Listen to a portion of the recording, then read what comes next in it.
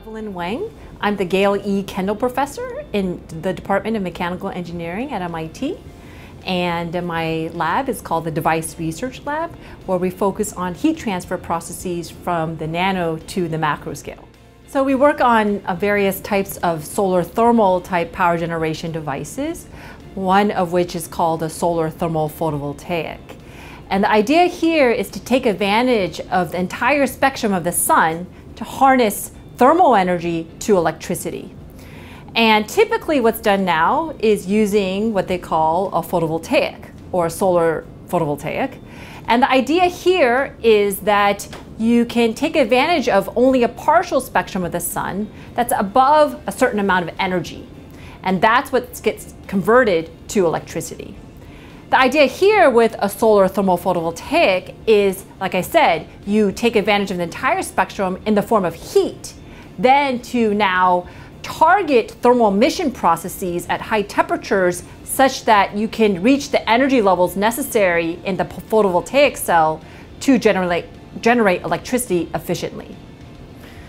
So that's what we've been working on is being able to now develop solar thermal photovoltaic devices that can kind of reach the efficiency levels that are theoretically possible.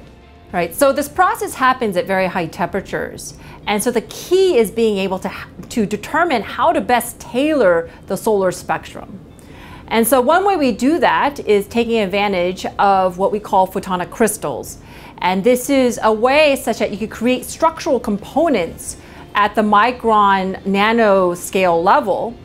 And this is in collaboration with our uh, colleagues in the Department of Physics, uh, Marin Soljačić, its group, and he helps us now tailor design of these photonic crystals in a way such that we can target the spectral characteristics such that they're favorable for this type of solar thermal photovoltaic energy conversion. And so one of the ways that we um, want to kind of tailor the spectrum is to indeed minimize emissive losses. Because this process happens at such high temperatures, the radiative losses can be significant.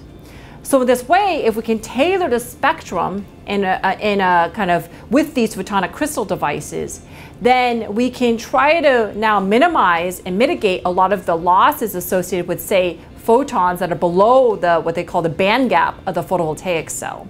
And that is what leads to heat generation, right? And so um, in that way, in the way we kind of create the devices or design the devices, we can really um, now create a spectral, have spectral control such that we can get the highest efficiencies possible.